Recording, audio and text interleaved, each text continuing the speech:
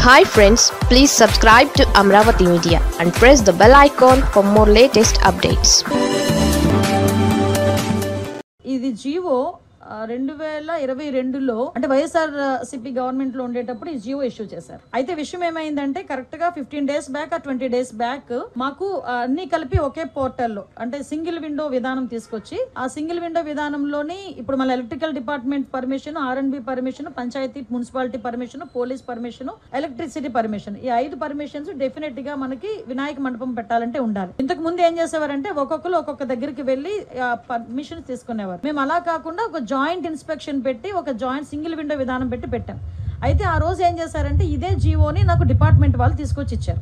ఇస్తే నేను యాస్టేజ్గా ఈ జీవోలో ఏదైతే ఉందో మేము దాన్ని చెప్పడం జరిగింది. అయితే ఈ విషయం తెలుసుకున్న వెంటనే గౌరవ సీఎం గారి గారికి విజ్ఞప్తులు వచ్చిన గౌరవ సీఎం గారు కూడా దీని విషయం మీద మమ్మల్ని అడిగారు. అడిగిన వెంటనే సార్ ఇలా జరిగింది ఇలా జీవో ఉంది అంటే ఇమ్మీడియట్గా ఆపండి. ఎవరు కూడా రూపాయి కూడా కలెక్ట్ చేయొద్దు. ఎస్పెషల్లీ ప్రతి సౌండ్ సిస్టమ్కి మనకి ఏదైనా మనం సౌండ్ సిస్టమ్ పెట్టామంటే దానికి పర్టికులర్గా మైక్కి పర్మిషన్ తీసుకోవడానికి వంద రూపాయలు తీసుకుంటారు డిపార్ట్మెంట్ వాళ్ళు కూడా. అది కూడా తీసుకోవద్దు వినాయక చవితులకి అని చెప్పి చాలా క్లియర్గా పది రోజులు క్రితమే ఈ విషయం చెప్పడం జరిగింది. ఎవ్వరూ దగ్గర ఎక్కడ కూడా ఎటువంటి ఫీజెస్ కూడా కలెక్ట్ చేయట్లేదు. ఎటువంటి చలనాలు కూడా కలెక్ట్ చేయట్లేదు. ఏదైతే వినాయక చవితి అదే విధంగా దుర్గా నవరాత్రి ఉత్సవాలు మన రాష్ట్రంలోనే కాదు మన దేశంలో చాలా ప్రెస్టేజియస్గా చాలా భక్తి శ్రద్ధలతో చేసే భక్తులు ఎవరైతే ఉన్నారో వాళ్ళెవరు కూడా ఇబ్బంది పడకూడదనే పది రోజుల క్రితమే గౌరవ సీఎం గారు అందరికీ కూడా ఇన్స్ట్రక్షన్స్ ఇవ్వడం జరిగింది. ఈ రోజుకి కూడా కనీసం మైక్ పర్మిషన్కి కూడా మేము ఎవరం కూడా డబ్బులు తీసుకోవట్లేదు. ఇది క్లియర్ దీనికి నేను ఇరవై రోజుల క్రితం మాట్లాడిన మాటలను తీసుకొచ్చి వైఎస్ఆర్ వాళ్ళు ఏమీ లేదు అన్నట్టుగా ఈ రోజు కావాలని దాన్ని ట్రోల్ చేసే పరిస్థితి చూస్తా ఉంటే వాళ్ళ తాలూకా తెలివి తక్కువతనం. అదే విధంగా వాళ్ళు బురద జల్లే కార్యక్రమాల్లో వాళ్ళకి టైమ్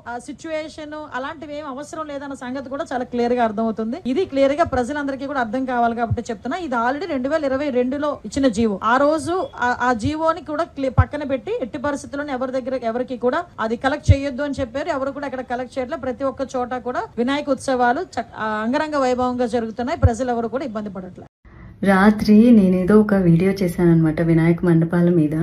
సో అడుగు అడుగు చొప్పున డబ్బులు ఇవ్వాలి అన్నది. అది పది రోజుల క్రిందట ప్రెస్ మీటు. ఆ ప్రెస్ మీటు అక్షర సత్యం. అండ్ మళ్ళీ కట్ చేస్తే ఈ రోజు హోమ్ మినిస్టర్ అనిత గారు ఆ వీడియో పెట్టేసేసి అలాంటివి ఏమీ లేవు. ప్రభుత్వం పాస్ చేసింది. అవి పాత గవర్నమెంట్ పెట్టినవి అని. పాత గవర్నమెంట్ జీవోలో మండపాలకి తప్ప విగ్రహం అడుగు చొప్పుల డబ్బులు లేవు. అదైతే పచ్చి అబద్ధం మైకులకి డబ్బులు లేవు. ఓవరాల్ మండపానికి మాత్రమే అప్పుడు డిఫరెంట్ కాస్ట్ ఉండేది. Last year last before year ఆంధ్రాలో మా వాళ్ళు కూడా విగ్రహాలు పెట్టారు మండపాలు పెట్టారు. వాళ్ళు కూడా ఫీజులు పే చేశారు. ఇలా అడుగు చొప్పున అడుగడుగు చొప్పున ఎక్కువ గణేష్ ఒక్కొక్క రేటు ఎక్కువ కాని గణేష్ ఒక్కొక్క రేటు ఇవి లేవు. ఇవి కొత్త రూల్సే మేబీ చంద్రబాబు నాయుడు గారు మార్చి ఉంటారు. పది రోజుల క్రిందట మార్చారట. మరి మార్చినప్పుడు ప్రజలకు చెప్పాలి కదా. అన్ని చోట్ల రాష్ట్రం అంతటికి పది రోజుల్లో అన్నీ వెళ్ళవు కదా. ప్రజలకు చెప్పాలి కదా. అయితే నేను ఏం మాట్లాడినా సరే జనాలు వెంటనే ఓ నువ్వు వైసీపీ దగ్గర డబ్బులు తీసుకున్నావు కదా అంటారు. అబ్బా భలే కామెడీగా అనిపిస్తుంది తెలుసా? సరే వైసీపీ వాళ్ళు నాకు డబ్బులు ఇచ్చారే అనుకుందాం. యా నుంచి తీసుకొస్తారు. మా టీటీడీ హుండీలోంచి కదా తీసుకొచ్చేస్తారు. టీటీడీ సొమ్ము తింటే సంకనాకి సర్వనాశనం అయిపోతారు. నేను పోవడానికి రెడీ లేను. పోయేటోళ్ళు తీసుకుంటారు. నాకు భలే కామెడీగా అనిపించేది ఏంటంటే వైసీపీ దగ్గర డబ్బులు తీసుకున్నావు కాంగ్రెస్ దగ్గర డబ్బులు తీసుకున్నావు. ఆరెంజ్ కండువాలు మోసేటోళ్ళం అప్ప మేము. మీ రకరకాల కండువాలు మాకు పడవు. Very unfortunate better luck next time try new comment